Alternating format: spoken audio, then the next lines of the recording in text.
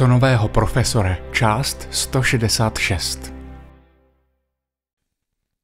Vítejte u dalšího dílu našeho seriálu Co nového profesore. Ahoj Valtře. Ahoj Martine. Není ti zima? Ano, mám termoregulaci. Ano, počasí se tu trochu změnilo. Já nevím, říkají tomu změna klimatu. Stává se to čtyřikrát ročně. Ano, říkám tomu zima. No, a budeme pokračovat v našem rozhovoru o nepřítomném domácím. Ale nejprve se pomodlíme. Náš nebeský oče, je to výsada pracovat pro tebe.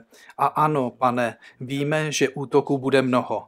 A víme, že se můžeme spolehnout, že nám v tom všem pomůžeš. Znovu tě prosíme, aby požehnal naši mysli, osvítil naše myšlenky svým svatým duchem a vedl tento rozhovor ve jménu Ježíše. Amen. Amen. Prožili jsme zajímavý víkend, že, Martine? Ano, bylo to hektické. Mezi vším tím nahráváním seriálu Co nového profesore pracujeme i na jiných místech, na různých věcech. Měli jsme nabitý víkend. Bylo to v podstatě něco jako regionální táborové setkání. Bylo tam asi 170 lidí, že? Ve skutečnosti 250. 250? Dobře. Dobré. Chvíli jsem si myslel, že to nezvládnu, byl jsem velmi nemocný, ale pán udělal zázrak. Ve skutečnosti udělal několik zázraků. Udělal pár zázraků a já měl v rohu pár lidí.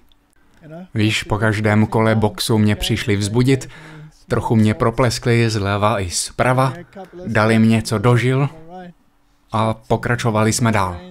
Ano. Myslím, že o tom slyšela spousta lidí.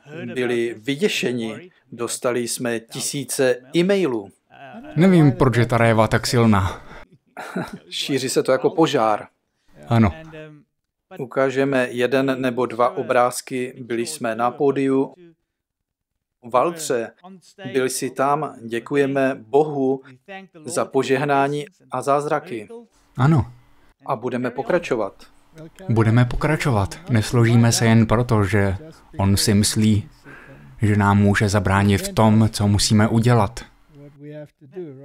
Ale není to zajímavé? Minule jsme mluvili o Jobovi a o tom všem, i kdyby mě zabil. Takže je to tvoje chyba. Je to všechno tvoje vina. Ve čtvrtek jsem seděl a díval jsem se na to znovu a myslel jsem si, že si o to vlastně říkáme. Říkali jsme si o potíže. No, byl jsem dost zničený, ale byla to jen infekce, které jsem se dlouho nemohl zbavit. Často jsem měl teplotu, ale mezi tím mi Bůh pomohl. Šli jsme tam a zvládli jsme to. A ty stále Jsem zabalený do deky. dostaneme tě z toho. Jsem zabalený do deky. Budeš za chvíli zase fit. Alespoň už nemám tu infekci. Díky Bohu za to. Ano, všechno to zvládneme, protože to, co je na obzoru, rozhodně nebude procházka růžovým sadem. Ano. Je to obtížné. Víš, všichni ti lidé přijdou, jsou nadšení, užívají si to a pak se tomu ďábel snaží zabránit. Ale Bůh je mocnější. On zasáhne a tak to jde dál. A způsob, jakým pomohl a to, jak to dopadlo, bylo prostě úžasné. A bylo to takové setkání, lidé se scházeli, modlili se, bylo to krásné. Víš, Bůh si používá i takové situace, aby boží lid sjednotil. Ano, možná bychom mohli ukázat nějaké fotky. Ano, ukážeme si pár fotek z tohoto táborového setkání, z místa, kde jsme seděli na pódiu, protože to byl úplně jiný scénář a celou dobu jsme improvizovali. Ano, museli jsme si sednout, abychom ušetřili trochu energie. Ale šlo to dobře. Šlo to dobře. Šlo to dobře. Mluvili jsme o nepřítomném majiteli domu. A je to vlastně nevyčerpatelné téma. Protože jak jsme viděli, lidé, kteří viděli první díl, začínají chápat, proč tolik lidí říká, že Bůh je nepřítomný domácí. Ale je důležité si uvědomit, proč to Ježíš řekl. Je pro vás výhodné, abych odešel. Je to pro nás dobré. Je to pro nás dobré. Je to proto, aby mohl přijít Duch Svatý a abychom jednali vírou. Protože víra je podstatou věcí. Což nevidíme. Které nevidím. Musíte tedy jednat s vírou. Abraham byl spasen vírou, a ne jak se píše ve společném prohlášení o nauce o ospravedlnění, které je celé překroucené tak, že jde jen o skutky a milost. Ano, jsme pod milostí, to je pravda, ale je to z víry, neboť bez víry není možné se mu líbit. A to skrze jeho spásnou krev, nikoli skrze jeho spásné skutky. Správně, všechny ty nuance, které jsou tak jemné a lestivé, klamné, jen jezuita může napsat něco tak klamného. Ale lidé už určitě začínají chápat, že se mi nelíbí, co představují, že? Ano, ale... To mohu potvrdit. Nelíbí se mi to. A v tom s tebou souhlasím. Děkuji, Martine, děkuji. Myslím, že největším nepřítelem božího lidu, který povstal proti reformaci, jsou jezuité. Ať se to lidem líbí nebo ne. V našich řadách jsou lidé, kteří si myslí, že jezuité jsou naši přátelé. Jak mohou být ďáblovi pomocníci přáteli božího lidu? To není možné. To není možné. Tohle se stane, když se snažíme smířit satana a Boha. To je to, k čemu dospěješ. Dobře. Nepřítomný domácí část druhá. Všechny ty lekce, které si musíme vzít k srdci v nepřítomnosti správce, že? Ano. Ale jak jsme viděli minule, ve skutečnosti není nepřítomen, protože je přítomen skrze svého zástupce, Ducha Svatého. Přesně tak. A skrze jeho slovo, jak jsme viděli, a skrze modlitbu. 3. Mojžíšova 19.17. Neměj ve svém srdci nenávist vůči svému bratrovi. Přísně pokárej svého druha, ať kvůli němu neneseš hřích. Někomu se to zdá téměř protichůdné, že? Ano. Protože pokud máš jen lásku, pak se láska v mnoha případech stává ospravedlněním, výmluvou pro všechno. V tomto případě se však říká ne. Přísně pokárej svého druha, ať kvůli němu neneseš hřích. Musíš tedy hřích nazývat pravým jménem. Ale láska přikrývá množství hříchů. Důležitý je způsob, jakým to děláš. Ano, když kážeš hřích, ale nešťastné je, že i když kážeš o hříchu, hříšník to nechce slyšet a bere to jako osobní útok na něj. Jako osobní útok. Proto tolik lidí odmítá ducha proroctví. Ano. Četl jsem, rád čtu, co ti to průkopníci napsali o duchu proroctví. Mám jednu obrovskou knihu, je asi takhle velká, jako bych ji držel před sebou na stole. Miluju ty staré knihy. Ano. A viděl jsem všechny ty fotokopie toho, co říkali. A četl jsem, co o duchu proroctví řekl bratr Wilcox. Upozornil na některé velmi zajímavé věci. Říká, že lidé se ptají, ať už je to od Boha, nebo je to jen její vlastní názor, ať už je to tak či onak, ať už je to jen pro její dobu, rozhodně to neplatí pro naši dobu a všechny tyhle výmluvy. A jako například uvádí Samuela. Samuel byl povolán jako malý chlapec. Byl ještě dítě, když byl povolán k prorocké službě. Ano. A nakonec v Bibli čteme, že celý Izrael od Danu až po Beršebu věděl, že Samuel je věrný hospodinův prorok.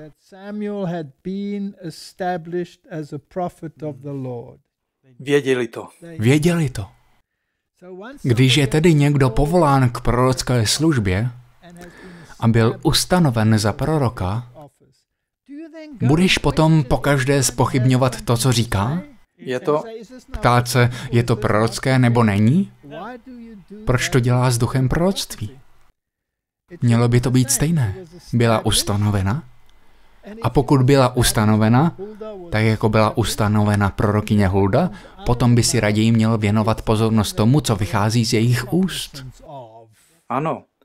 A přestaňte se vzpírat proti bodcům. Přestaňte se vzpírat proti bodcům. A všechny ty nuance a změny v teologii, které lidé dělají, jsou tak otravné. Na tom táborovém shromáždění jsem mluvil s jedním mladým mužem. Byl tak zmatený, protože teologové v našich institucích trvají na tom, že nové překlady jsou správné a že Ježíš při svém na nebe vstoupení vstoupil do svatyně svatých a ne do svatyně. Ano, to už je dlouho běžná věc. Je to zřejmě Fordova teologie, že? A žel to mají, jak si řekl, právě z těchto nových překladů. Z nových překladů, dokonce i z nového překladu Bible krále Jakuba. A proto Bible krále Jakuba odmítají. Bible krále Jakuba je však přeložena správně podle originálu. Ty ostatní jsou nesprávné, ať se jim to líbí nebo ne. A za druhé, Bible krále Jakuba je také v souladu s duchem proroctví, který ji potvrzuje. Stejný názor ohledně této věci zastávali všichni naši průkopníci. To nechcou. A víš, proč se jim to nelíbí? Nelíbí se jim to proto, že pokud Ježíš vstoupil do svatyně svatých, pak žádný ostatek neexistuje. To je pravda. Pak nejsme jiní. Žádný rok 1844 neexistuje. Je úplně pryč. A ostatek, který má volat lidi, aby vyšli z Babylonu, se stává součástí této babylonské směsi. Zejména křesťanský mix. Správně. A pak můžeš sedět ve všech ekumenických výborech, jejichž cílem je sjednotit celé křesťanstvo a myslet si, že je to v pořádku, protože svou teologii zakládáš na nesmyslech. Je to tak. Zbavíš se vyšetřujícího soudu, zbavíš se roku 1844 a pak, jak si právě řekl, zbavíš se i zbytku. Přesně. Tak jsem si s tím mladým mužem docela příjemně popovídal. Chtěl vědět, jestli má pokračovat ve studiu, nebo jestli si má nechat dál lhát od těchto lidí. Řekl jsem mu, pokračuj ve studiu, protože znáš pravdu. Buď silný. Buď silný, postav se za pravdu. Daniel tam byl. Ano, Daniel to zažil, byl uprostřed Babylonu. Jdi dál a hlásej pravdu beze strachu. Ať už se teologové klaní nalevo nebo napravo. Pokud to není od Boha, nikam se nedostanou. Amen. Proč jsme se odchýlili od tématu, Martine? Protože tohle je jedna z věcí, které si myslím, že Bůh může zařadit na seznam toho, co nenávidí, protože je to podvod, je to klam. Dobře. Bůh tedy nevede svůj lid jako nepřítomný správce, ale jako správce, který je skutečně přítomen. Dokonce v církvi ostatku vzbudil prorocký dar. Bible říká, že ho vzbudí a tito lidé ho popírají, jako by byl bezvýznamný. To mě velmi rozčiluje. Cítím spravedlivý hněv. Ano, taky mě to štve, protože to ukazuje, protože vidíme, jak tyto věci odvádějí lidi od pravého božího slova a pravého smyslu. Dobře, správně. Vraťme se tedy k písmu, vraťme se ke svědectvím, protože to je to, co Bible říká, že máme dělat. A nic z toho se nás nemusí týkat. Ne. Ať si plují na svých lodičkách od nikud nikam a uvidíme, kam je to zavede. Nikam je to nedostane. Držíme se svého úkolu. Držme se svého úkolu. Ale pojďme dál a nerozčilujme se. Snížme rychlost na příjemnou, klidnou úroveň. Zadáme-li do vyhledávače, například do internetového vyhledávače e slovo, slovo nenávist, najdeme toto slovo 16krát. Co se z těchto veršů můžeme naučit? Je to důležité, protože víš, že Bůh je velmi špatně chápán. Když si například vezmeš něco takového, myslím, že je to v Jakubově evangeliu, říká se tam, že Bůh nikoho nepokouší. Bůh nemůže být pokoušen a Bůh nikoho nepokouší. A pak najdeš všechny ty verše, jako Bůh pokoušel Abraháma, Bůh pokoušel Davida. Zatvrdil faraonovo srdce. Zatvrdil faraonovo srdce a všechny tyto verše. A tak lidé říkají, že si Bible odporuje. neodporuje. Jestliže rozhodující verš říká, že Bůh nemůže být pokoušen a že Bůh nikdy nikoho nepokouší, je to základ. Přesně tak.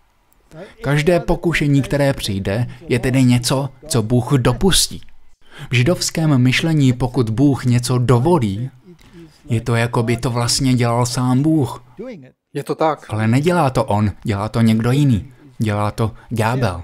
A pokud o tom pochybuješ, podívej se znovu na Joba a zjistíš, jak to funguje. Přesně tak. Musíme tedy uvažovat od příčiny k následku.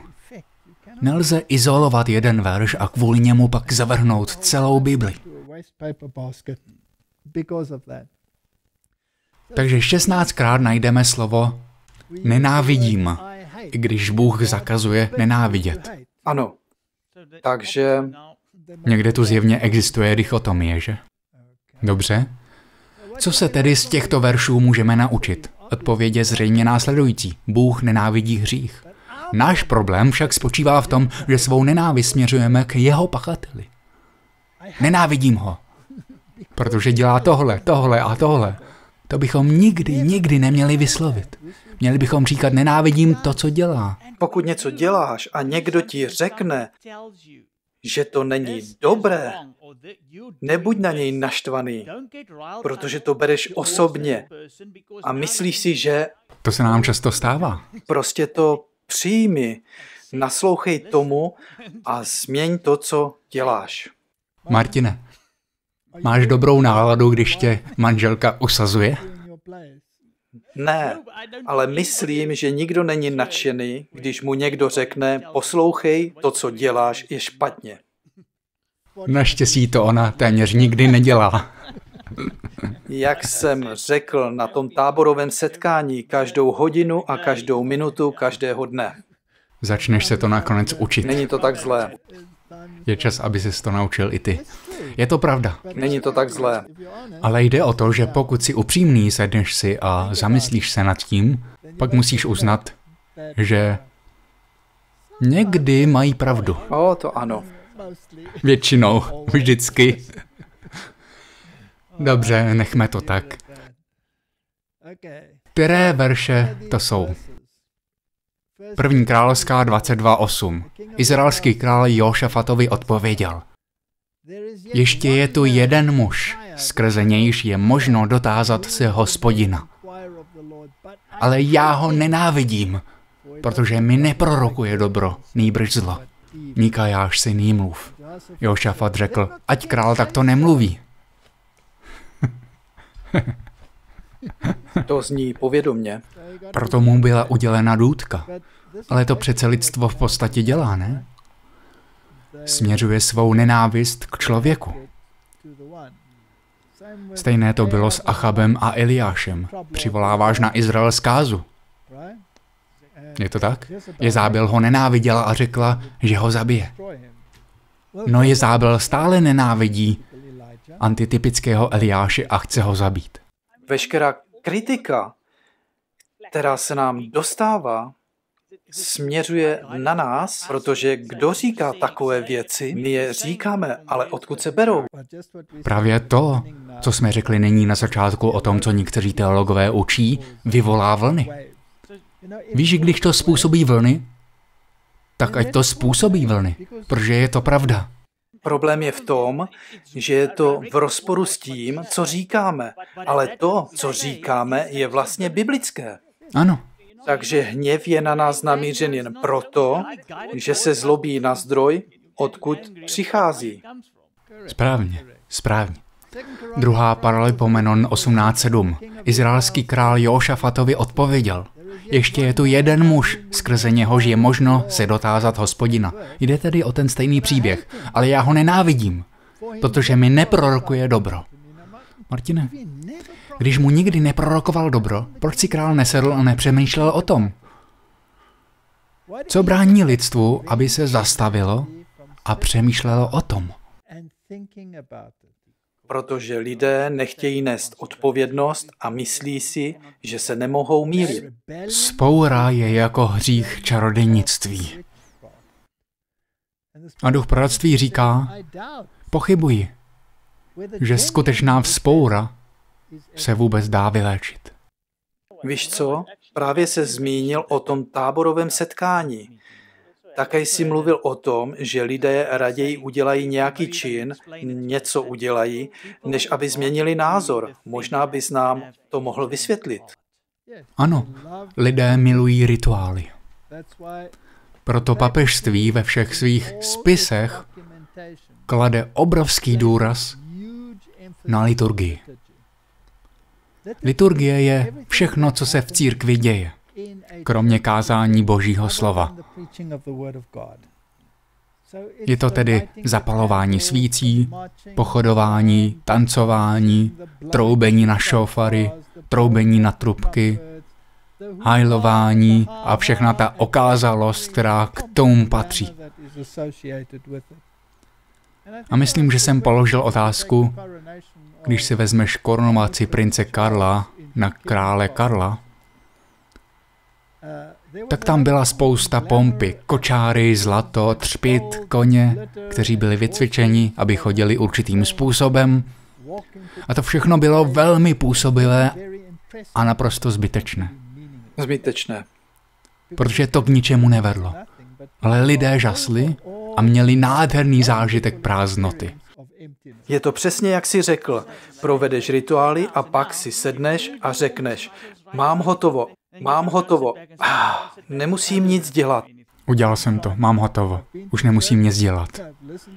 Už je to v pořádku, byl jsem v kostele, poslouchal jsem, bylo to poutavé, useděl jsem se a měl duchovní zážitek. A mám hotovo. Teď se konečně můžu vrátit ke svému pití, kouření a grilování, vypadnout a udělat si pohodlí a jestli mě ten pes nenechá na pokoji, tak ho nakopu. Ano. Ano, to zní. Nemusím se měnit. To vše mi připomíná, s čím se tu potýkáme. Celé to nemusím se měnit. Přesně tak. Kristus nás přišel vysvobodit z hříchu. Zkoumání srdce však nahradili rituály. A to je problém. Dá se to tedy vyléčit? Může to být vůbec někdy vyléčeno? Martine, v Biblii je verš, při jehož čtení bychom se měli otřást. A to je přísloví 28.9. Kdo odvrací své ucho od slyšení zákona, i jeho modlitba je ohavností. To je. Co na to říkáš, Martine? Myslím, že když si sedneme a opravdu se nad tím zamyslíme, je to děsivé.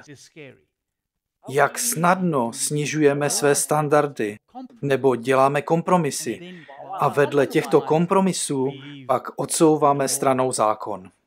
Dobře. Myslím, že Bůh má soucit s těmi, kteří tomu skutečně nerozumějí, protože byli oklamáni. Protože když něco nevíš, Bůh to přehlédne. Ale pokud víš a přesto vědomně přestupuješ Boží zákon, pokud přestupuješ Tóru, jeho slovo, jeho zákon, pak je tvá modlitba ohavností. To připomíná věci, jako je takzvaná služba vysvobození. Když si komentoval službu vysvobození, dostali jsme na to reakce lidí. Někteří lidé byli rozrušeni způsobem, jakým jsme to řešili. Ale faktem zůstává, Martine, že některé z těchto služeb vysvobození, které ve světě existují, každopádně si musíme udělat jasno. Kázání Evangelia je také službou vysvobození. Přesně. Je to tak? Nejsme tedy proti službě osvobození. Musí to být ve správném kontextu. Musí to být ve správném kontextu. Hlásání Evangelia je samo o sobě službou osvobození. Ale když je někdo posedlý a ty tam vejdeš, proneseš plamené kázání a pak přikážeš ďáblu, aby odešel a najednou je ticho a klid a ty po této velmi úspěšné službě vysvobození odejdeš, to je podvod, Martine. Protože jde téměř o vymítání. Přesně tak to je. Neboť odvrátíš-li ucho od poslouchání zákona, i tvá modlitba je ohavností. Nemůžeš jít a konat službu vysvobození, aniž by si položil několik velmi podstatných otázek. Ano. Co děláš ve svém životě? Stojí něco mezi tebou a boží ochranou? Ano. Pouštíš něco do svého života, ať už je to cokoliv. Může to být něco, co tajně sleduješ v televizi, může to být nějaká tajná neřez, které si oddáváš, nebo možná si násilník, piješ, nebo si zapleten do nezákonného vztahu, nebo cokoliv, ať už je to cokoliv. Může to být něco velkého a může to být maličkost. Drobnost. A pokud tomu nevěnuješ pozornost, a pokud ten člověk není ochoten se změnit, nějaká modlitba za vysvobození nemá smysl. Můžeš prostě odejít. A stejné je to i s nemocnými. Pokud je někdo rozhodnut zničit sám sebe životním stylem, který je v rozporu se zdravím, modlitba za takového člověka ani nemá smysl. To říká duch proroctví. Správně. To vše jsou velmi důležité věci. Chtěl bych jen dodat, že pokud máte nějaké pochybnosti o těchto službách vysvobození, jděte a přečtěte si. Alberto Ribeira o tom hodně mluví, protože býval jezuitským knězem a prováděl exorcismy Sám si se zmínil o knězi, myslím, že je to i v knize tvé ženy. Správně. Který přišel do tvého domu, aby vykonal službu vysvobození. Byl to naprostý podvod, byla to naprostá fraška, ale vypadalo to velmi reálně. A tak si člověk myslí, že je to oprávněné, protože váš problém je vyřešen. Ale vy jste neopravili to, co bylo špatně. Je to falešné, je to falešný pocit naděje. To je ten problém. Dobře. Proto, kdo odvrací své ucho od slyšení zákona, i jeho modlitba je ohavností. Nechme si to projít hlavou, přemýšlejme o tom. Bůh od nás tedy chce nápravu. Čiň pokání. Čiň pokání, to je vždy zmíněno jako první. Čiň pokání. Odvrať se, odvrať se od svých zlých cest proč byste měli zemřít, domy izraelský? Je to tak? Kolikrát jsem vás chtěl znomáždit, tak jako slepice, ale nechtěli jste. Tvrdohlavost. Žálm 101.3. Nekladu si před oči ničemnosti. Nenávidím jednání odpadlíků. Neulpí na mě. Martine, není to v souladu s tím, co jsme si právě řekli? Pokud si dáváš před oči špatnost a stáváš se necitlivým tomu, co nazýváme hříchem, ta malá krabička, ta malá krabička. To nejlepší, co můžeš s tou malou krabičkou udělat, je spálit každý drátek, který v ní je. Je zlá. Je. Protože podporuje zlo a činí ho přijatelným. Ta malá krabička představuje každou hříšnou a zlou věc. Zbav se jí. Pokud se chceš na něco dívat, dívej se na vhodné slušné věci, které si sám stáhneš. Nevystavujte se neustálému proudu všech těch věcí, kterými vás krmí. Ano, kolik naší mládeže sleduje seriál Lucifer? No, Dokonce sledují vyvoleného. Dokonce i v pořadu vyvolení, kde se říká následuj své srdce. Srdce je zrádné, nesmírně zrádné, především lstivé. Musíme si dávat velký pozor na to, co sledujeme, abychom se nenechali svést k falešnému pocitu bezpečí. Žalm 119.104. Díky tvým přikázáním jsem mnohému porozuměl, proto nenávidím každou stezku klamu. Martine, je zde nějaký paralelismus? Samozřejmě, že je zde hebrejský paralelismus. Přikázání nám říkají, co je správné, dávají nám porozumění a proto cesta klamu musí být v rozporu s přikázáními. Čím více to studuješ a praktikuješ, tím více nenávidíš to druhé. Správně. Kdo odvrací své ucho od slyšení zákona, i jeho modlitba je ohavností. Není to úplně to tež, jen jinými slovy? Ale lidem se to nelíbí. Ne, Nikdy nemáme rádi, když musíme něco měnit, opravovat. Jsou to nejgeniálnější zákony, jaké kdy byly vytvořeny. Deset malých zákonů. Deset malých zákonů. A jsou určeny celému lidstvu. Když je odstraníš, budeš potřebovat tisíc zákonů, abys nahradil jeden jediný z nich. Ano, a až se dostaneš k tomu poslednímu, na ten první si už ani nespomeneš. Dobře? Nesnáším polovičaté lidi, ale miluji tvůj zákon. Zase nějaká paralela? Je to opakující se téma? Rozhodně. Dobře. Jak tedy mohou lidé tvrdit, že zákon již neplatí?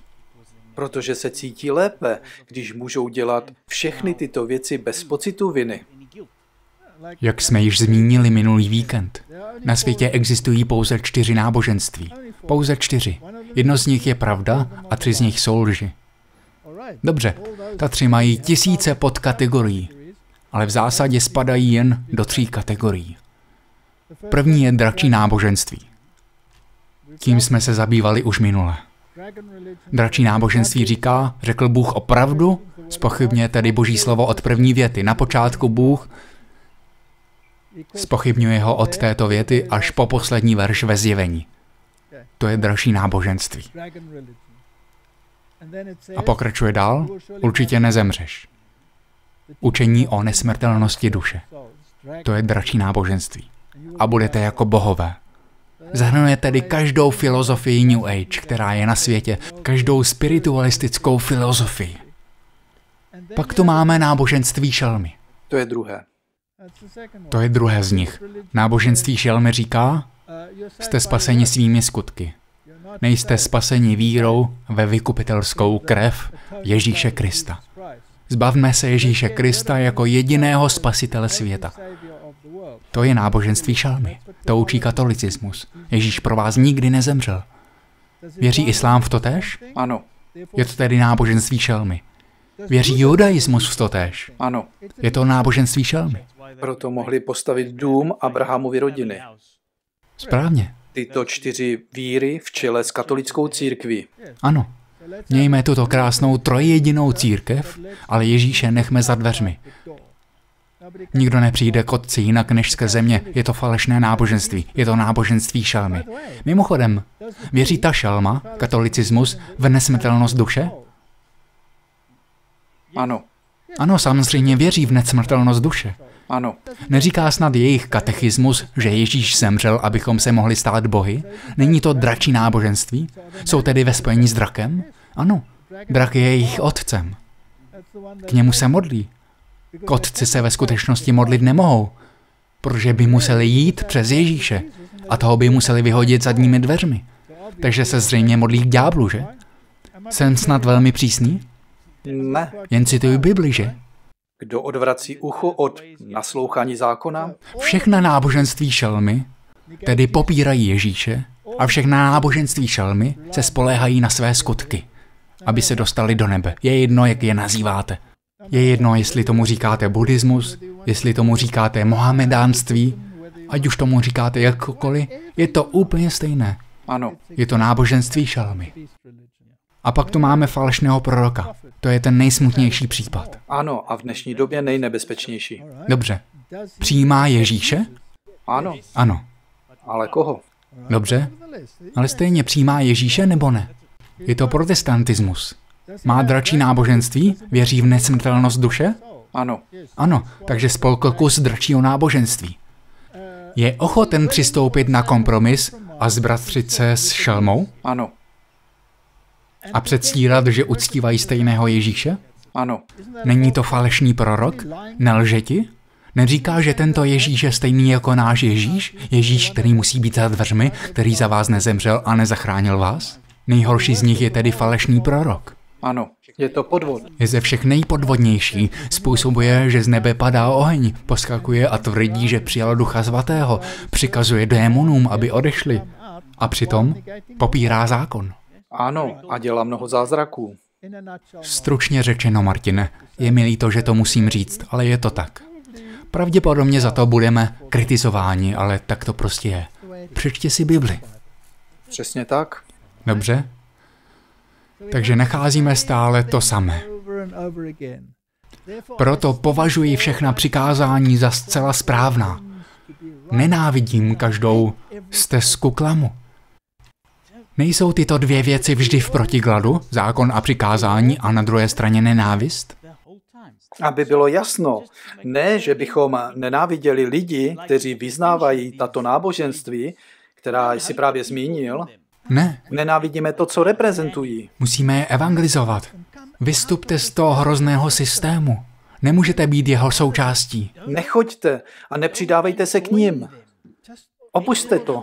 To, že někdo během bohoslužby 50krát zatroubí na šofar, neznamená, že je to správné. Dobrá, podívejme se na žálm 119, 163. Nenávidím klam, ošklivý se mi. Miluji tvůj zákon. Opět zde máme kontrast? Existuje nějaký zákon, který říká, nebudeš lhát? Nevydáš křivé svědectví? Dobře, jestliže falešný prorok říká, že tito lidé, kteří jsou v náboženství šelmy, jsou naši bratři a sestry a přitom popírají Ježíše Krista, nelže svým členům? Ano, lžou. Můžeš přivést lidi k Ježíši skrze lež? Dobře.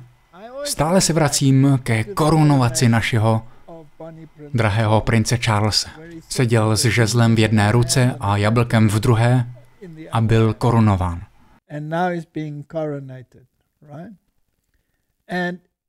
On představuje korunu. Lidé samozřejmě nevědí, že koruna vlastní všechno. Patří celá země. Vám nic nepatří. Všechno patří koruně. Všechno patří koruně. Ale koruna byla postoupena Vatikánu.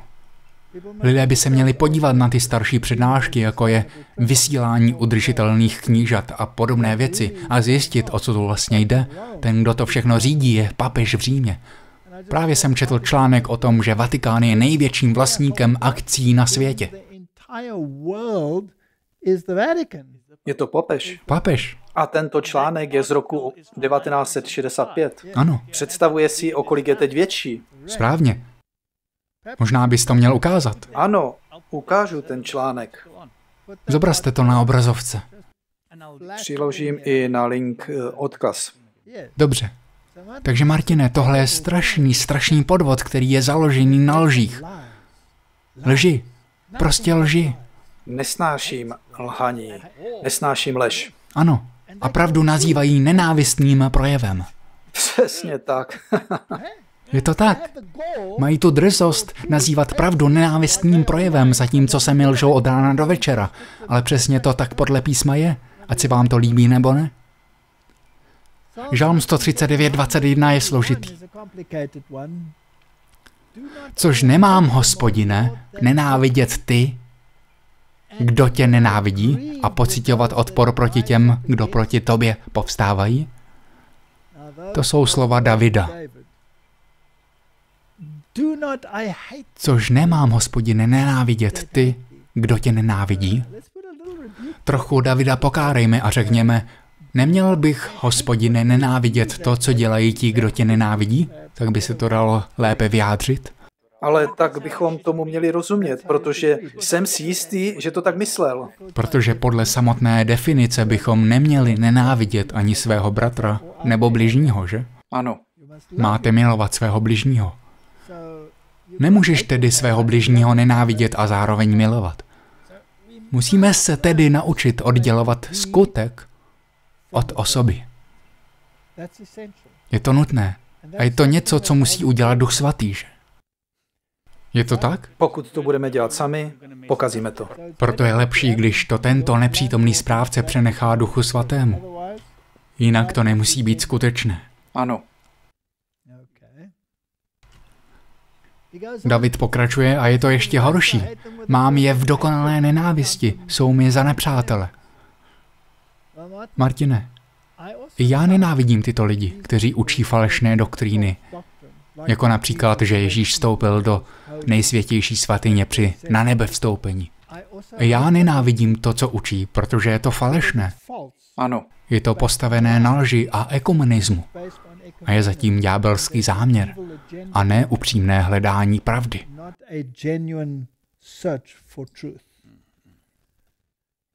Přísloví 8.13. Bázeň před hospodinem znamená nenávidět zlo. Tady to máme ve zkratce. Krásně řečeno. Bázeň před hospodinem znamená nenávidět zlo. Takže, co je to zlo? Povýšenost, pícha, zlá cesta a obojaká ústa. To nenávidím. Není to tedy člověk, lidská bytost. Ne. Co nám to říká?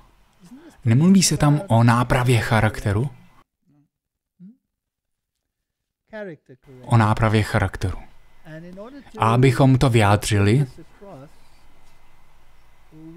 měli bychom mít pochopení pro lidi, kteří chybují.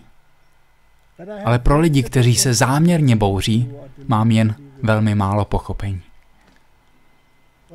Co říká Pavel, že bychom s nimi měli dělat? Nechat je satanovi, nechat je, nechat je trochu zdvojit, nechat je naučit se lepší cestě. Nechci, aby byl někdo ztracen. Kdybych mohl jít tak daleko, nechtěl bych, aby se ztratil ani ďábel. Ale on je ztracený, protože se už rozhodl a zřešil proti duchu svatému. A Bůh to cítí stejně. Nikomu bych však nepřál, aby se ztratil ani svému největšímu nepříteli, ale aby se odvrátil. Odvrátil se od svých zlých cest a přestal klamat boží lid. Protože opravdu mě mrzí, když vidím, jak to lidi odvádí od Boha. Učení těchto lidí. Správně. Izáš 61.8. Neboť já, hospodin, miluji právo a nenávidím lup při zapálené oběti. To je zajímavý verš. Jak by se ho zařadil do moderního kontextu? Nenávidím lup při zápalné oběti. Jinými slovy, pokud okrádáš Boha tím, že předstíráš, že tvé skutky jsou dostatečně dobré, Bůh to nenávidí. Takže celý systém šelmy je děsivý, protože si myslíš, že když si uděláš pout, nebo když jdeš na mši, nebo když se modlíš k mrtvému svatému, který nic neumí a nezná a neví, nebo když jdeš na seanci s mrtvým svatým a pak to v televizi prezentuješ jako ctnostnou věc, máš obrovský problém, protože Bůh ti zakazuje chodit k čarodejnici z Endoru nebo k bohu Ekronu.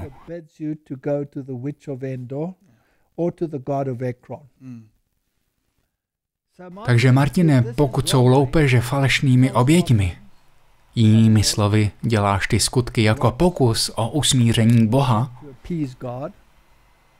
dám jim věrně jejich odměnu a uzavřu s nimi věčnou smlouvu. A opět se dostáváme k pravdě. Ježíš je pravda. Slovo je pravda. Zákon je pravda. Nemůžeš jí uniknout. Je všude. Jeremia 44.4 Posílal jsem vám všechny své služebníky proroky. Stále znovu jsem je posílal se slovy. Nečiňte tuto odpornou věc, kterou nenávidím. Platí to i pro ostatek? Ano, velmi. Opravdu? Velmi.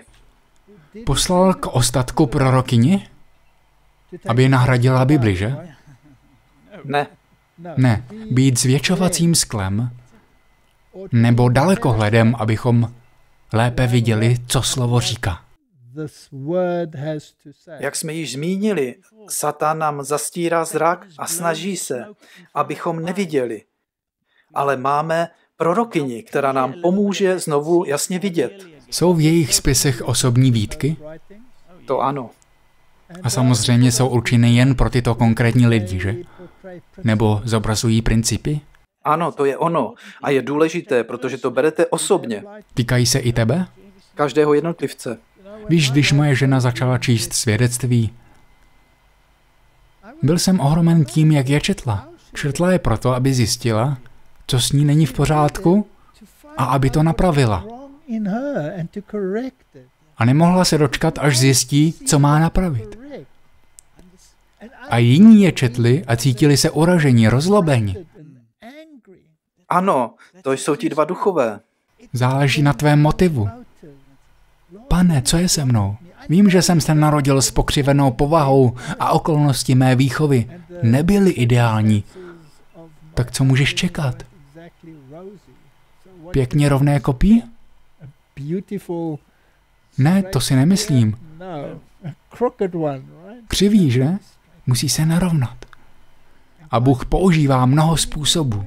Mluví k tobě skrze svého ducha a skrze tvou ženu, skrze tvé děti, skrze tebe, skrze tvé známé.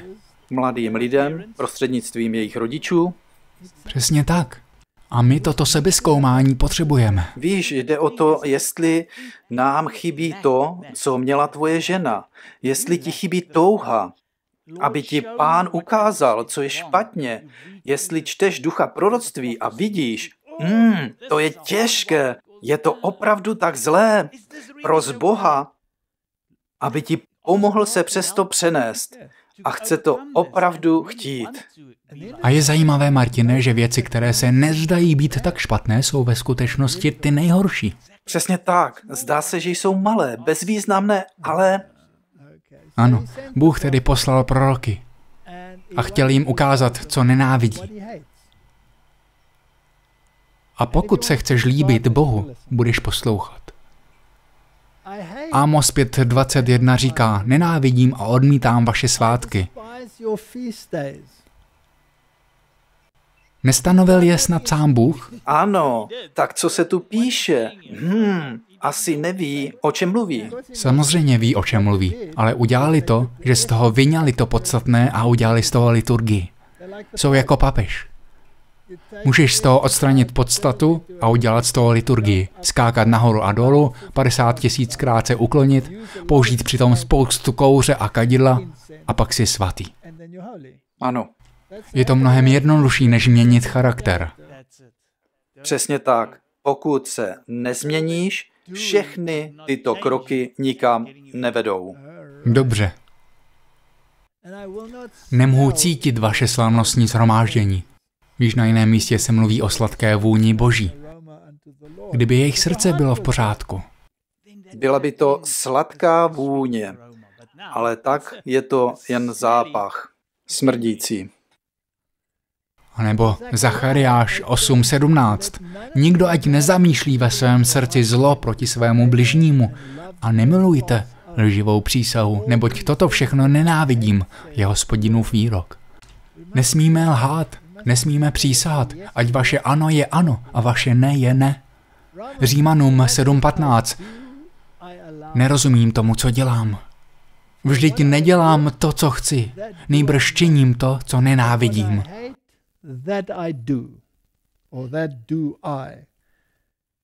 Mluví zde o lidské přirozenosti.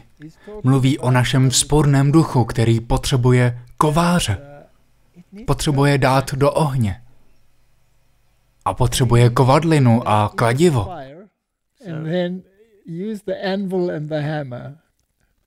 To znamená, že to není snadné a pravděpodobně ani bezbolestné. Provází to bolest, Martine, velká bolest. Všichni ji potřebujeme dostat za uši a potřebujeme ji znovu a znovu. A když si myslíme, že se nám daří velmi dobře, potřebujeme ji dvojnásob. Je to tak? Dobře. Nerozumím tomu, co dělám. Vždyť nedělám to, co chci, nýbrž činím to, co nenávidím. A pak zoufale vykřikne, kdo mě vysvobodí z těla této smrti. A potom ukazuje řešení. Bohu buď dík. Řešení existuje. Zjevení 2.15. Tak i ty máš některé, kteří drží učení Nikolajtu, což nenávidím. Nikolajti byli proti božímu zákonu. Znovu a znovu se vracíme ke stejné věci. Tato válka je vedena proti Kristu a jeho zákonu. Jinými slovy, tato válka je namířena proti Kristovu charakteru. Židé mohli snášet jeho charakter jen tři a půl roku, pak ho museli ukřižovat. Nevydrželi. Zbavte se ho, tak dlouho to lidstvo vydrželo. Po ukřižování se však někteří zamysleli a během jediného dne se jich připojilo tři tisíce. Je tedy možné se změnit. Když se však podíváme na dobu, která od té doby uplynula, tedy na posledních 2000 let, bylo kvůli Kristově charakteru zabito mnoho lidí. Ano. Protože většina lidí jeho postavu nenávidí. Ďábel ví, že může hrát svou píseň na pokřivený lidský charakter, protože s ním souzní. Je to tak snadné. Ano. Zpívá lidem tu svou krásnou melodii a všichni se k němu rozběhnou jako krysař s píšťalou a běží za ním. Do zatracení. Ne, musíme se odvrátit a musíme se rozhodnout. Takže Martine, snažíme se říct, že musíme oddělit hřích od hříšníka. Jak důležité je, abychom to udělali? Kdyby Ježíš neoddělil hřích od hříšníka, přišel by a zemřel by za nás?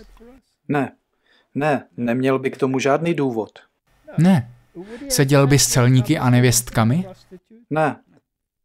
Jen by seděl někde na královském dvoře. Ano. Nebo v chrámu se Sanhedrinem. Přesně tak. Musíme tedy oddělit hřích od hříšníka. Řekněme, že ti někdo unese děti. Nebo někdo ukradne náklonost tvé manželky, manžela. Co budeš nenávidět? Hřích nebo hříšníka? Martine, takové věci se stávají téměř každému, kdo žije na tomto světě, že? Někdy se v určité fázi života stane něco strašného. Ne každému unesou dítě, ale mohu tě ujistit, že je to jedna z nejbolestivějších zkušeností, jakou můžeš zažít. A co je ještě horší? Když ti ukradnou majetek? Nebo když ti ukradnou náklonost? Co je horší? Myslím, že náklonost. Záleží také na tom, jak moc jste připoutáni ke svému majetku. Dobře, někdo ti ukradne auto. A ty se naštveš. Nebo někdo přijde a ukradne ti ženu. Co tě naštve víc? No, rozhodně to druhé. To druhé tě naštve víc, že? Jak se cítí Bůh? Někdo mu ukradl všechny děti. To je vše. Všechny. A bez ohledu na to, kolik lásky jim dává, se drží svého věznitele. Hm? A to tež se děje v dnešním světě. Existuje něco, čemu se říká stokholmský syndrom, kdy lidé ctí, milují a zbožňují svého trýznitele. Minule jsme mluvili o tom, že lidé milují diktátory. Ano. Je to stejný druh syndromu. Ano, je to syndrom. Martine, zamysli se nad tím. Někdo ti unese děti, nebo někdo ukradne náklonost tvé manželky. Co budeš nenávidět, hřích nebo hříšníka? Když víš, když si vzpomenu na filmy o pomstě, když se v nich něco takového stane, vždycky soucítíte s postavou, která se snaží pomstít. Ano, protože cítíš, že je to spravedlivý hněv. Ne, to je úplně špatně. Kdyby nám to Ježíš udělal, všichni bychom byli vyhlazeni. To je pravda. Dobře. Jak důležité je naučit se činit pokání?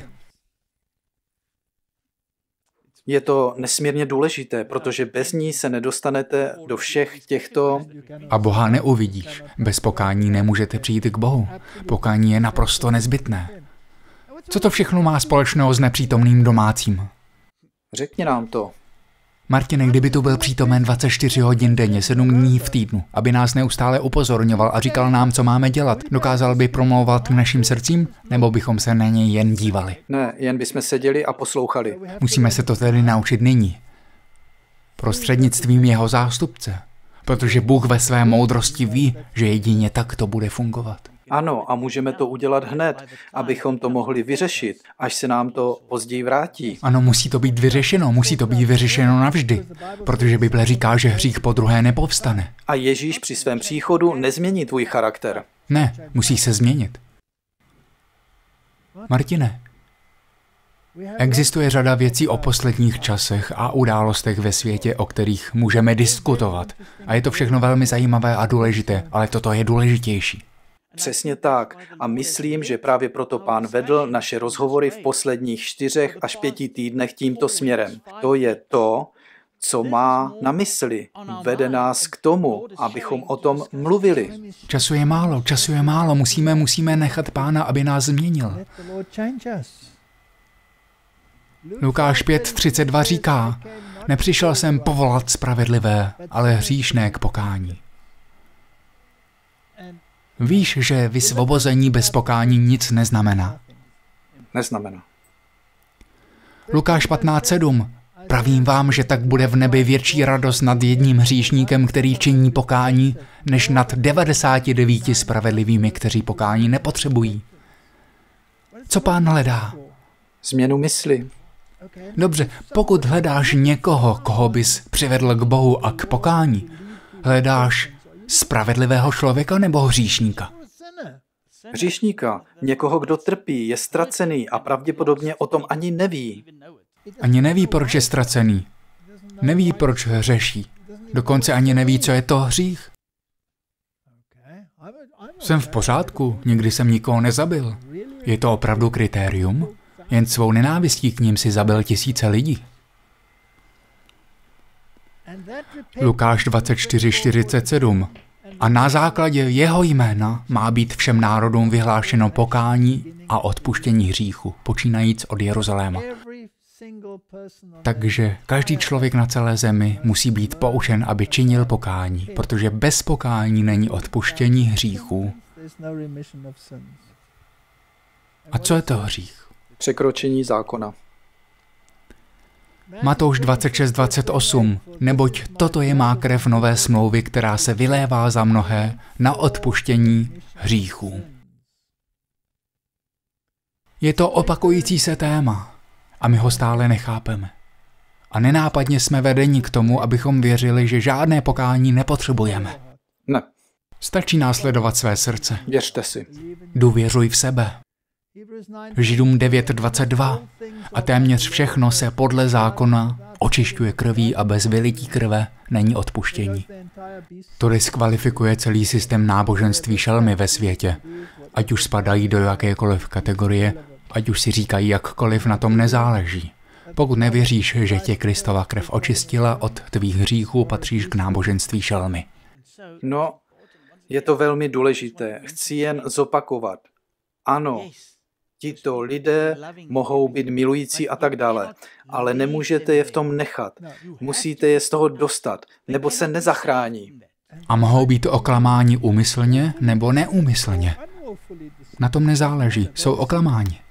A tento úkol získávat učedníky a kázat lidem je určen hříšníkům a ztraceným. Nebo jim máme jen kázat, že je Ježíš miluje a nechat je v tom? Víš, proč je to tak nepopulární? Protože když začneš kázat, že jsme spaseni beránkovou krví, tvé skutky přestanou platit. Nemají žádný význam. A to se lidem nelíbí. Lidé chtějí být spravedliví. Jen se zamysleme, podle čeho lidé posuzují, zda je někdo dobrý z 90% podle jejich činů. Podle jeho činů, ano. A může být zlý, jak chce, pokud je filantrop a dá nějakému sirotčinci pár milionů dolarů. Wow, to je úžasné. A to má zakrýt spoustu hříchů, hm? které se teď dostávají na světlo v médiích a my můžeme vidět, k čemu všemu to vedlo a jak se to rozvinulo. Tam nechoďme. Židům 10.18, kde je odpuštění hříchů, tam už není oběti za hřích. To je velmi důležité. Dříve než můžeš být očištěn, potřebuješ odpuštění hříchů, abys mohl stanout před Bohem. To je v podstatě to, co se zde říká. Abyste mohli obstát, až přijde Ježíš. Správně. Podívejme se, co říkají svědectví pro církev svazek 5 o tom, že bez pokání nemůže dojít k odpuštění hříchů. Dnes je právě velice potřebné upřímné srdečné pokání a vyznání. Ti, kteří neponižují duše své před Bohem a neuznávají svou vinu, nesplnili dosud první podmínku přijetí. Vidíš ten soulad mezi Biblí a duchem proroctví? Není divu, že ho nenávidí. Jestliže nezakusíme pokání, ve kterém bychom projevili svou lítost, jestliže nevyznáme svůj hřích s pravým ponížením a zkroušeností, ve kterém bychom měli v ohavnosti svou vlastní nepravost, ve skutečnosti upřímně netoužíme po odpuštění hříchů. Kdybychom se vrátili k předchozímu slajdu, přečetli si tyto verše znovu a znovu si přečetli tohle, říká se to tu mnohem jasněji, pokud to tak mohu říct. Máš naprostou pravdu, Martine. Jsem v pokušení.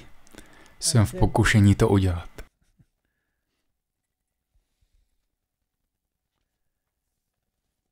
Vím, že jsme o tom mluvili už asi tisíckrát.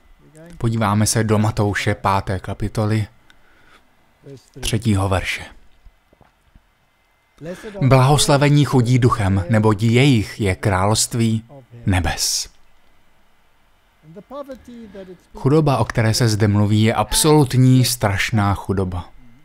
Horší než ta vdova s posledními dvěma haléři. Nemáš nic. Nic, co bys mohl nabídnout. Jinými slovy, pokud si uvědomíš, že jsi na mizině, naprosto chudý, je to první krok k tomu, abys mohl přijmout blahoslavenství. Pokud si myslíš, že jsi bohatý a zajištěn, nejsi způsobilý pro tuto první příčku žebříku. Musíme být prázdní, abychom mohli být naplněni. Dobře, takže blahoslavení chudí duchem. Uvědomuješ si svou chudobu. Blahoslavení plačící, neboť oni budou potěšeni. Proč pláčou? Pláčou pro svůj hříšný stav. Když si uvědomíš, že jsi hříšník, že jsi na mizině a že jsi beznadějně, beznadějně ztracen, to je druhý stav. A musíš cítit zármutek nad tím, co jsi udělal, čím jsi byl a čím jsi.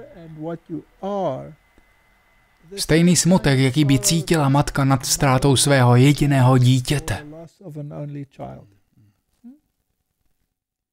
To je druhý krok. A pak musíš slést z koně. Blahoslavení těší, neboť oni dostanou zemi do dědictví.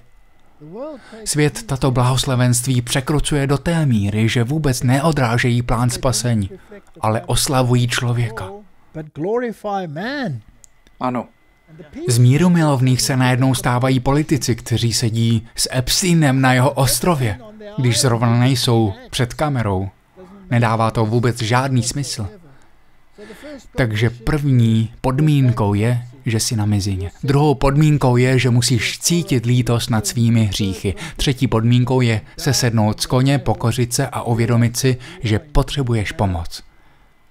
A pak musíš blahoslavení ti, kdo hladovějí a žízní po spravedlnosti, neboť oni budou nasyceni. Musíš prosit, pane, veď mě správnou cestou, chci dělat to, co je správné, ukaž mi, co dělám špatně, ukaž mi, co mám dělat. Pomoz mi. Pomoz mi, sám to nezvládnu. A jak jsi zmínil, stejně jako tvoje žena, pomoz mi, abych se chtěl změnit. Ano, Musíš hladovět a žíznit po této spravedlnosti. Musíš si uvědomit, že nesmíš zůstat takový, jaký jsi byl. A pak, až se k tomu dostaneš, můžeš druhým prokazovat milosrdenství. Blahoslavení milosrdní, neboť oni dojdou milosrdenství. Proč budeš milosrdný? Protože jsi obdržel milosrdenství. A tak můžeš mít soucit s ostatními lidmi. To je proces, vývoj. Je to žebřík, po kterém stoupáš a postupuješ ve své křesťanské zkušenosti. A pak bojuješ se zlem ve své mysli a s tou kanalizací, která je ve tvém mozku od narození. Říkáš si, pane, už to nemůžu vydržet. Chci mít čisté myšlenky. Nechci na tyhle věci ani myslet. Víš, že jedním z důvodů, proč budeme mít v nebi nový jazyk, je to, že všechna ta špatná, ošlivá slova, která máme v našem současném jazyce, musí zmizet. Je to tak. I některá dobrá slova mají špatné konotace. Překroutili je, udělali z nich zlo a hnus. Budeme tedy potřebovat nový jazyk. Pro ty z vás, kteří si myslí, že nebeský jazyk bude Němčina, mám novinku. Nebude to Němčina ani angličtina. Ani afrikánština. Rozhodně ne afrikánština, protože ta obsahuje některá z nejsilnějších slov pod sluncem. Nejlepším jazykem, ve kterém se můžete rozčílit, je afrikánština. To je pravda. Je to pravda, musí zmizet. Musíme tedy pána prosit o tuto čistotu srdce. A když ji získáš, Martine, pak můžeš být tvůrcem pokoje. Do té doby nemůžeš začít jako míru tvorce, pokud nemáš všechny ostatní věci. A pak musíš vědět, co je to vlastně pokoj. Hojný pokoj mají ti, kdo milují tvůj zákon. Pokud tedy nespojíš své budování pokoje se zákonem, děláš to zbytečně. Spojují boží zákon se svým pokojným jednáním? Ne. Ne, dělají pravý opak, porušují boží zákon. OSN se snaží o mír, ale vůbec to není boží zákon. Je proniknut okultismem postaveným na teologii Alice Bejlové a Blavacké, která oslavuje Lucifera. Je v tom nějaký mír nebo právo? Ne, není. A blahoslavení ti, kdo jsou pronásledováni pro spravedlnost. Takže Martine, až začneš odrážet tento charakter, budou se k tobě chovat stejně jako k Ježíši. Budou tě nenávidět. Úplně stejně.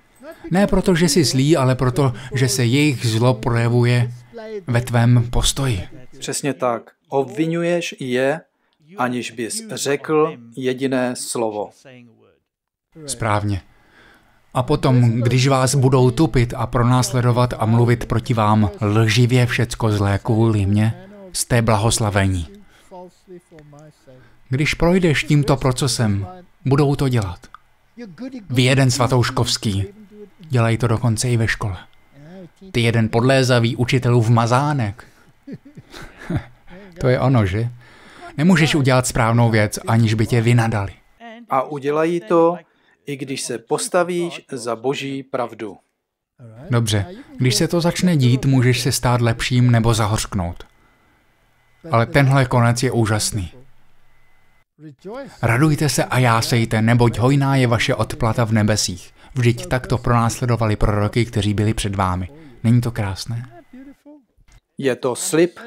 To je proces, kterým se musíme řídit. Nejdříve tedy musí přijít pokání, lítost nad říkem, pokání za svůj stav. A netoužíme-li po něm, nemůžeme nikdy dojít pravého pokoje. Musíme ho hledat. Proč nám mnohé hříchy nebyly odpuštěny? Protože nejsme ochotni pokořit svá pišná srdce a vyhovět podmínkám Božího slova. Nečetli jsme to právě? Že se musíš pokořit, zasednout z toho vysokého koně? Tato věc je jasná. Veřejné anebo soukromé vyznání hříchu má být upřímné a otevřené. Nesmí být od hříšníka vynocováno. Nemá být povrchní a lehkomyslné. Nežádejme je od těch, kteří si neuvědomují hroznou podstatu hříchu. Vyznání spojené se slzami a zármutkem, s vylitím nejniternější duše nalézá cestu k božímu nekonečnému milosrdenství. Žalmista praví, Hospodin je blízko těm, kdo jsou zkroušeni v srdci. Zachraňuje ty, kdo mají zdeptaného ducha. Problém je v tom, že se setkáváme s mnoha lidmi, kteří nechápou podstatu hříchu. Proč by tedy měli činit pokání, když nemají z čeho? Často vám řeknou, jsme jenom lidé. Ano. Ne, náš postoj by takový být neměl. Měli bychom říkat, jsme jen lidé a proto potřebujeme Boha. Potřebujeme Boha. Stejné nebezpečí existuje i dnes mezi lidmi, kteří vyznávají, že zachovávají boží zákon. Žijí ve velkém nebezpečí, že si budou lichotit, že úcta, se kterou zachovávají přikázání, je zachrání před mocí božské spravedlnosti. Odmítají pokárání za zlo a obvinují boží služebníky, že příliš horlivě odstraňují hřích z tábora. Bůh, jenž si ošklivý hřích volá ty, kdož chtějí zachovávat jeho zákon, aby odstoupili od vší nepravosti. Nemůžeš říct, no poznal jsem pravdu, teď se z ní můžu těšit. Musí tě změnit. Neochota činit pokání a uposlechnout Boží slovo přivodí i dnes na Boží lid tak vážné následky, jaké postihly starý Izrael. Je zde mes, za níž Boží soudy již nemohou být odloženy. Cítím takovou naléhavost. Vidím, že Boží soudy přicházejí. A pokud Boží lid nebude připraven, nebude součástí hlasitého volání. Půjdeme stejnou cestou jako starý Izrael. A pokud nebudou součástí hlasitého volání, potom budou součástí těch ostatních. Tady máme další citát z knihy Help in Daily Living. Nikdy nejsme sami. Máme společníka, ať si ho vyvolíme nebo ne. Nezapomínejte, že ať jste kdekoliv, ať děláte cokoliv, všude je přítomen Bůh.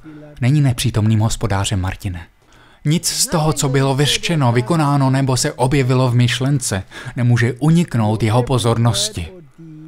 Na každé své slovo a na každý svůj čin máte svědka svatého Boha, který nenávidí hřích. Silné, že? A my čteme. Nečetli jsme v těchto verších v Biblii, že Bůh nenávidí hřích? Ano. Je tedy duch proroctví v souladu s Biblí? Ano. Nahrazuje Bibli? Ne. Přibližuje ji? Ano, vybarvuje ji. Než promluvíte nebo něco učiníte, vždy na to pomyslete. Jako křesťané jste členy královské rodiny, dětmi nebeského krále. Neproneste jediné slovo a neučiňte nic, čím byste zneuctili slavné jméno, jímž jste byli nazváni. Křesťané, že? Křesťané. Takže Martine, dá se říci, že hospodář odešel na dlouhou cestu a zanechal své reprezentanty, aby ho prezentovali? Dá se to říci? Ano, jsi vyslanec. Dobře. Je tím vyzkoušena upřímnost těchto reprezentantů? Rozhodně ano. Není to lepší test, než kdyby byl přítomen, protože v takovém případě bys to mohl všechno nechat na něm.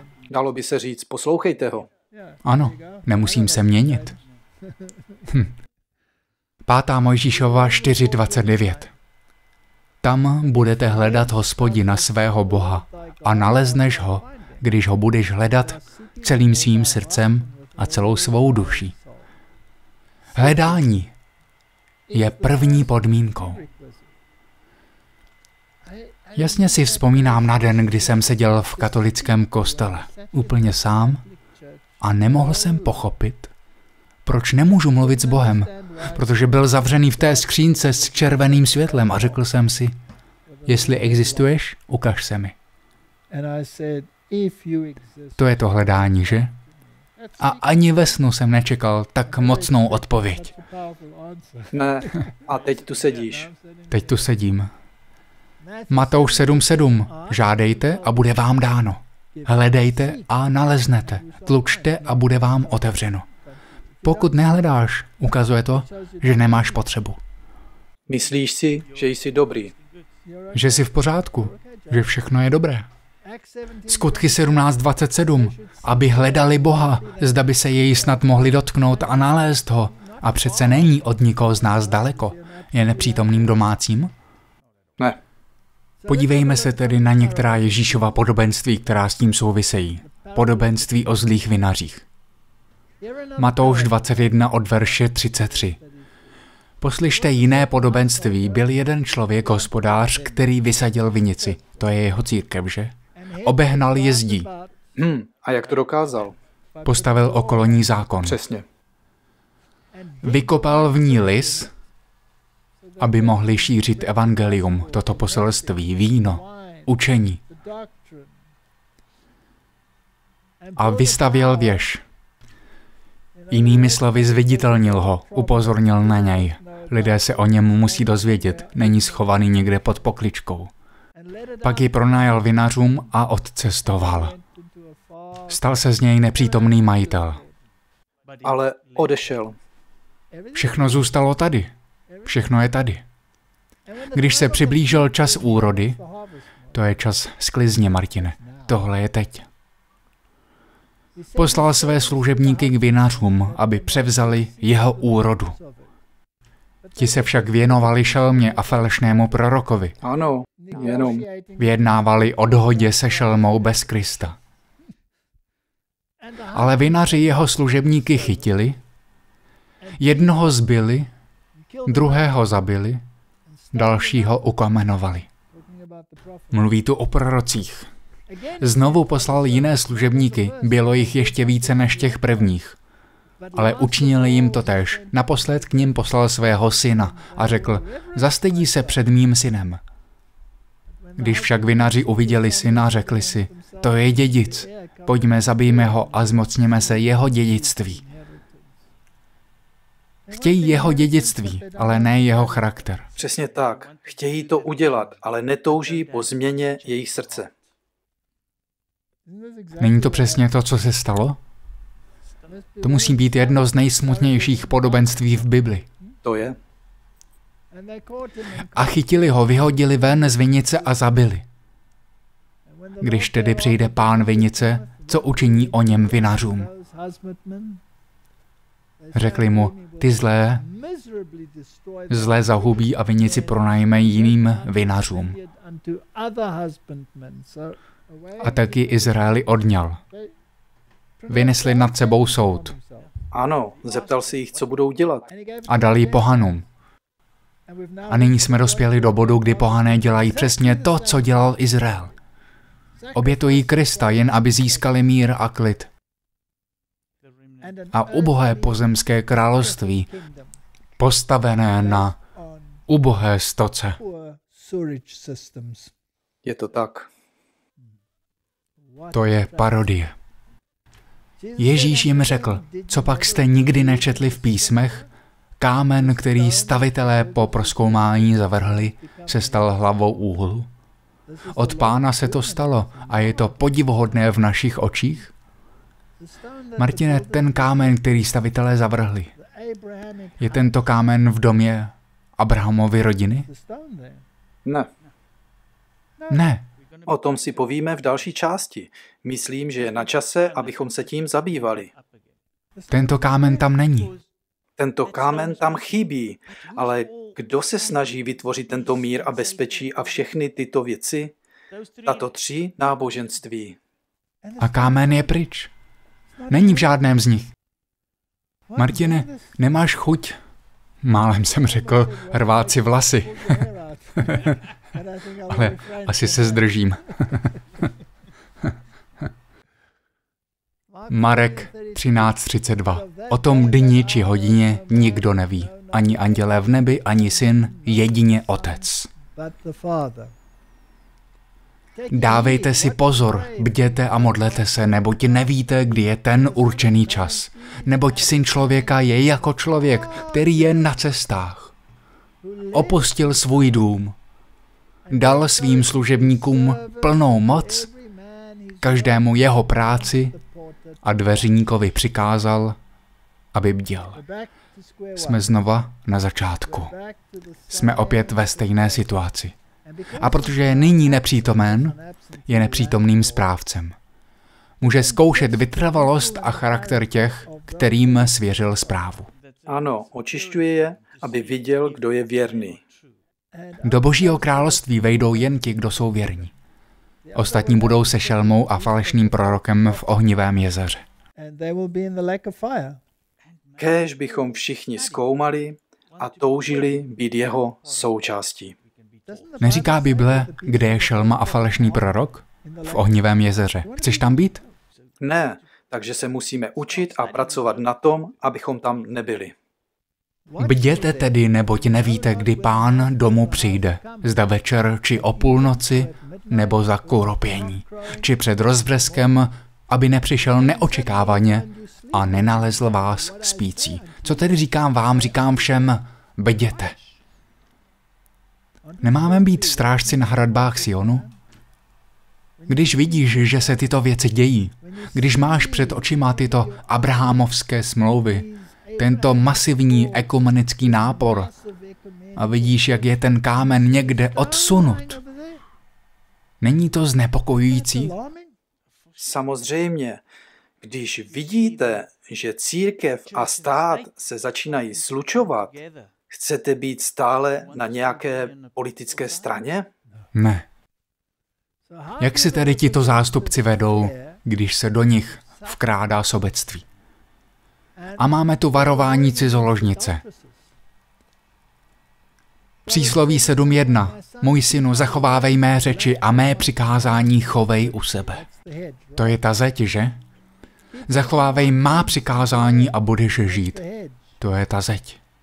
Střež můj zákon jako zřítelnici svých očí. Toto téma se neustále opakuje, ale nikdo nechce naslouchat. Přivaž si je na prsty, napiš je na tabulku svého srdce. Řekni moudrosti, si moje sestra. Rozumnost nazvi svoji příbuznou, aby tě chránili před cizí ženou, před cizinkou s jejími úlisnými řečmi. To je falešná církev. To jsou tyto abrahamovské dohody. Je to cizinka. Je to ekumenismus. Protože ten kámen leží někde stranou. Nemůže být postaven na správném základu, pokud ten kámen chybí. Tak tu cizinku neposlouchejte. Když jsem byl u okna svého domu, pohleděl jsem za okenní mříž a uviděl jsem mezi prostoduchými. Rozpoznal jsem mezi mládeží chlapce, jemuž chyběl rozum. Děti. Ano, malé děti, které mají věřit tomu, co řekl Bůh, a někdo kolem projde a řekne, vypadá moc hezky, v čem je problém?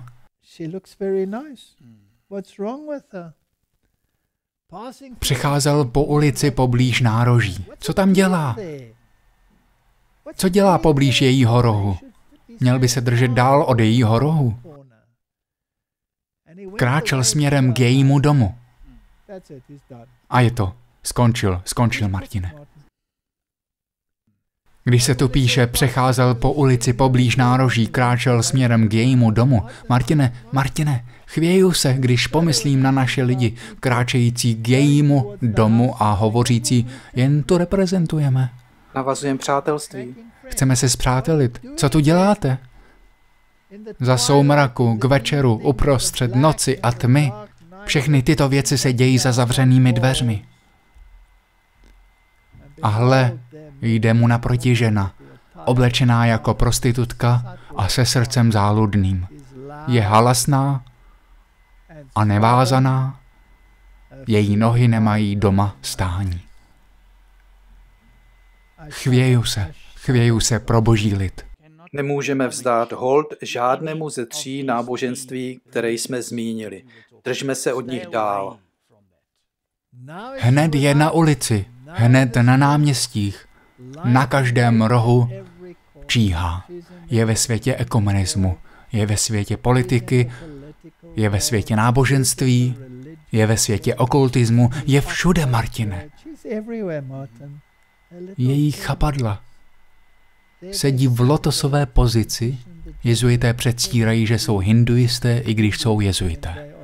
Předstírají, že jsou cokoliv, jen aby nalákali tohoto mladého muže, aby se přišel podívat. Četl jsem, jak jeden muž řekl, že opustil křesťanské náboženství, protože miluje buddhistickou kuchyni. Ať vaří jako oni, ale proč musí opustit základní kámen? Měla jsem obětovat pokojné oběti. Dnes jsem splnila své sliby. Spojuje se s ní tedy náboženská konotace. Proto jsem ti vyšla naproti, abych tě usilovně hledala a našla jsem tě. Vítej v mé ekumenické radě. Pokryla jsem svou pohovku přikrývkami, pestrobarevným egyptským plátnem. Ale na neštěstí jsem však odhodila Kristou spravedlnost a bílé roucho spravedlnosti. Moje plátno je egyptské. Ano. Hm? Nechtěli se snad celou dobu vrátit do Egypta? Ano. Nehledali snad vůdce, kteří by je odvedli zpět do Egypta? Navoněla jsem svou postel mirou, aloe a skořicí. Pojďte a připojte se ke mně na mši. Tak pojď, opájejme se milováním až do rána, potěžme se láskou. Vždyť můj muž není doma. Je to nepřítomný hospodář. Nech si o tebe postarám já. odešel na dalekou cestu. Martine, jak strašná past, že? Bible je tak jasná. Říká nám tyto věci tak přímo a přesto... Přesto to děláme. Měšec s penězi si vzal sebou. Přijde domů v den úplňku. Ale neboj se, peněz mám dost. Investoval jsem do všech ekonomických podniků na světě. Mám injekce, mám všechno, abych tě udělal šťastným. Dal ti peníze a udělal z tebe svého otroka. Mám všechno. Chceš peníze? Kolik bys chtěl? Chceš být roková hvězda? Zasypu tě miliony. Chceš být hvězda? Následuj své srdce. Dělej, co tě baví. To je jediný zákon. Věř si. Zapomeň na jeho měšec penězi. Jeho odměna přijde někdy v budoucnu. Moje odměna je teď a tady. Přeháním snad? Ne. Určitě nejsi na této vlnové délce, Martine. Na tvoji. Ano. To rozhodně jsem. Dobře. Protože když se řekne, co talent? Je to talent, když vás něco, co děláte, odvádí od Krista? Přesně tak. Proto si sebou vzal pytel z penězi, protože říká, že odměna přijde s ním, až se vrátí. Dám ti odměnu hned teď? Dobře. Přijde domů v den úplňku. To je příliš dlouhé čekání. Pojď, pojď ke mně. Přesvědčila ho svým mnohým přemlouváním, svými úlisnými rty jej svedla. Hned za ní jde, jako chodí vůl na porážku, či jako skáče jelen do zéti. Strašná situace. Zažíváme je jako realitu i dnes. Hospodář totiž není doma, vydal se na dalekou cestu. Dovol mi, abych se o tebe postaral. A také je to dlouhá cesta, nejen nějaký krátký výlet. Až mu šíp probodne játra. Jako pták pospíchá do pasti a neví, že mu jde o život. Nyní mě, synové, slyšte. Věnujte pozornost řečem mých úst. Ať se tvé srdce neobrátí k jejím cestám, ať nezabloudíš na její stezky, neboť je mnoho pobytých, které nechala padnout. Kolik milionů lidí kvůli ní ve středověku zemřelo? Ano. A všechny ty nesčetné miliony, o kterých ani nevíme, díky jejím komunistickým režimům a tak dále? Hrozná, strašná historie. A kolik dalších lidí zemře kvůli jejich kouzlům? Správně má hodně práce s čarodejnictvím. Farmacia je jednou z jejich oblíbených témat. Ať se tvé srdce neobrátí k jejím cestám, ať nezabloudíš na její stezky, nebo tě mnoho pobytých, které nechala padnout. Všech, které zabila, je bezpočet. Její dům, toť cesty do posvětí, vedoucí dolů do kobek smrti. Vážné varování, Martine. Vážné varování. A tady tvrdí, že Bůh je nepřítomný hospodář a proto převezme velení a kontrolu. A to také udělala. To je pravda. To také udělala. A tímto, Martine, tímto hrozivým varováním ukončíme naši diskuzi o nepřítomném domácím. A poprosíme Boha, aby nám dal moudrost zůstat uvnitř ochranné zdi, kterou nám poskytl, abychom nešli a nezatoulali se do jejího domu. Podívat se, co dělá a pak smlouvat a připojit se k ní, zatímco nepřítomný domácí je pryč a ona má pytle peněz, aby tě obšťastnila. To mi připomíná rčení, že když kočka není doma, myši mají pré. Ano. To je to tež. To je přesně to samé. Modleme se tedy. Nebeský Otče, velmi smutný příběh nepřítomného domácího, ale vůbec ne nepřítomného, který zkouší srdce a mysl. Pomoz nám být na správné straně této rovnice. Pomoz nám být na správné straně zákona. Pomoz nám uvědomit si, že je třeba, abychom se nestali samospravedlivými, protože uznáváme zákon a pomoz nám uvědomit si, pane, že krásné egyptské plátno nebude stačit. V tomto případě pouze postačí roucho spravedlnosti z víry bez jediné skvrny. A pomoc nám ho odmítnout ve jménu Ježíše. Amen. Amen.